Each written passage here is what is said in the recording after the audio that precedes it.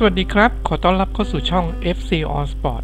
คลิปนี้เราจะนำเสนอคอมเมนต์ของชาวเวียดนามนะครับ หลังจากสื่อเวียดนามได้นำเสนอข่าว บริษัท est Cola มอบทุนสนับสนุนให้แก่สหพันธ์วอลเลย์บอลแห่งประเทศไทย เป็นจำนวนเงิน 28 ล้านบาท หรือราว 19,000 ล้านดองนะครับ เพื่อพัฒนานักวอลเลย์บอลทีมชาติไทยให้แข็งแกร่งยิ่งขึ้นต่อไปนะครับ นอกจากนั้นยังมอบเงินรางวัลให้กับทีมวอลเลย์บอลหญิงไทยอีก 1 ล้านบาทหรือประมาณ 700 ล้านดอง หลังจากคว้าเหรียญทองซีเกมครั้งที่ 32 ได้นะครับ สื่อเวียดนามได้กล่าวว่านี่มาจากสปอนเซอร์เพียงรายเดียวเท่านั้น ประเทศไทยยังมีสปอนเซอร์อื่นอีกมากมาย หลังจากสื่อเวียดนามได้เสนอข่าวนี้ออกไปแล้วนะฮะ มีชาวเวียดนามจำนวนมากเข้ามาคอมเมนต์เชิงเปรียบเทียบและบ่นน้อยใจ เรามาฟังคอมเมนต์กันดูนะครับผม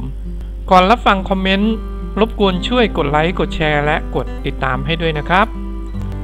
คอมเมนต์แรกนะครับ มองไปที่ประเทศของเขา ฉันรู้สึกอิจฉา คอมเมนต์ต่อมานะครับ พวกเขามีบุคคลที่ยอดเยี่ยมอยู่แล้ว และยังมีการลงทุนที่แข็งแกร่ง ไม่แปลกใจเลยว่าทำไมพวกเขาควรเป็นมืออาชีพมากกว่าเวียดนาม คอมเมนต์ต่อมานะครับ แล้วฉันก็เห็นว่าผู้ร่วมสนับสนุนหัวชักดึกจาง แรงจูงใจมีค่าแค่ไหนสหพันธรัฐกำลังทำงานที่แย่มากในการส่งเสริม และเรียกร้องให้เงินทุน คอมเมนต์ต่อมานะครับ มองพวกเขาแล้วมองมาที่พวกเรา คอมเมนต์ต่อมานะครับ สงสารสาวเวียดนามจัง คอมเมนต์ต่อมานะครับ อย่าเปรียบเทียบและกดดันนักกีฬาเวียดนามอีกต่อไป เพราะการสนับสนุนมันต่างกัน คอมเมนต์ต่อมานะครับ เวียดนามได้ 100 ล้าน เปรียบเทียบกับไทยได้ 20พันล้าน คอมเมนต์ต่อมานะครับ มองไปที่ประเทศของคุณ ไทยแลนด์ แล้วมองไปที่ประเทศของเรา ช่างเป็นเรื่องตลก คอมเมนต์ต่อมานะครับ ในเวียดนามมีไม่กี่องค์กรสปอนเซอร์ ที่รวยเท่ากับประเทศไทย คอมเมนต์ต่อมานะครับ มองไปมองมาแล้วคิดถึงเราเห็นมันไกลกันเหลือเกิน คอมเมนต์ต่อมานะครับสหพันธ์วอลเลย์บอลไทยแลนด์ทำงานอย่างขยันขันแข็ง นักตบทุกคนก็มีความสุข คอมเมนต์ต่อมานะครับ นั่นคือเหตุผลว่าทำไมทุกเกมที่สหพันธรัฐอยากได้เหรียญทองจากประเทศไทย เพราะถ้าทำได้ สปอนเซอร์ก็จะมาหาเรา คอมเมนต์ต่อมานะครับ ถามสมาคมของทีมวอลเลย์บอลเวียดนาม ว่าเขารู้สึกละอายไหม แม้แต่ที่กินที่ออกกำลังกาย เครื่องออกกำลังกายก็ยังไม่มี คอมเมนต์ต่อมานะครับ ลองนับดูว่าเสื้อสาวไทยมีสปอนเซอร์กี่ตัว คอมเมนต์ต่อมานะครับ คนเราลงทุนมากมาเป็น 10 ปี กว่าจะได้อันดับสูงขนาดนี้สหพันธ์ของเราไม่ลงทุนแต่ขอผลงาน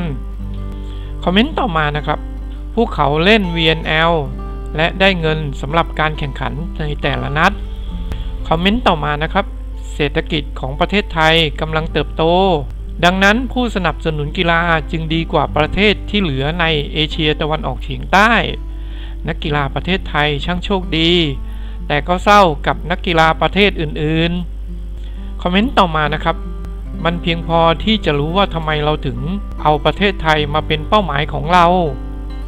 คอมเมนต์ต่อมานะครับ เวียดนามเป็นแฟนพันธ์แท้ของประเทศไทย คอมเมนต์ต่อมานะครับ วันก่อนนักกีฬาวอลเลย์บอลชาย เวียดนามได้รับโบนัส 100 ดอลลาร์ คอมเมนต์ต่อมานะครับ ถ้าประเทศเรามีสปอนเซอร์เยอะก็คงจะมีคนเก่งเยอะ คอมเมนต์ต่อมานะครับ ทำไมไม่ดึงดูดผู้สนับสนุนฟุตบอลบางคน มาสนับสนุนวอลเลย์บอล สปอนเซอร์ของฟุตบอลมากเกินไป คอมเมนต์ต่อมานะครับ สงสารสาวเวียดนาม พวกเขาแข่งขันอย่างทุ่มเทเพื่อความหลงไหลของพวกเขาเท่านั้น คอมเมนต์ต่อมานะครับ สาวเวียดนามไม่ต้องห่วง คราวหน้าถ้าฉันมีเงิน ฉันจะสนับสนุนให้มากกว่านี้ คอมเมนต์ต่อมานะครับ เวียดนามแพ้หลายครั้งเลยได้เงินน้อย และคอมเมนต์สุดท้ายแล้วนะครับ ได้กล่าวว่า เราน่าจะมีเอสโคลาในประเทศเวียดนามบ้างนะ จบไปแล้วนะครับสำหรับคอมเมนต์บางส่วนนะครับของชาวเวียดนาม